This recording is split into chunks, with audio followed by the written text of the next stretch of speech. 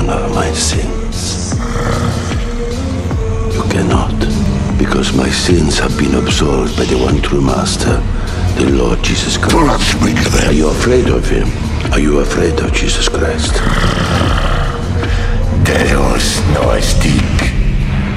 Deus ubique est.